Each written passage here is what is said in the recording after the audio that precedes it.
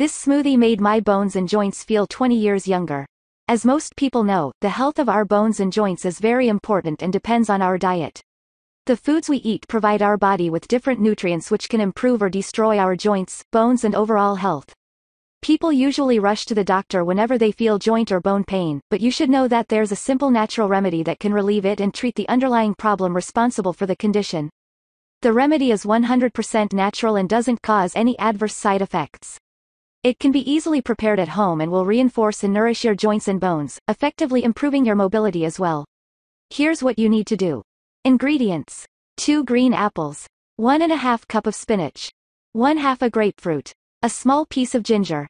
2 celery stalks. Ice. Preparation and use. Put all the ingredients in a blender without the ice and mix until you get a homogeneous mixture. Pour the smoothie in a glass and add a few ice cubes, then drink it immediately.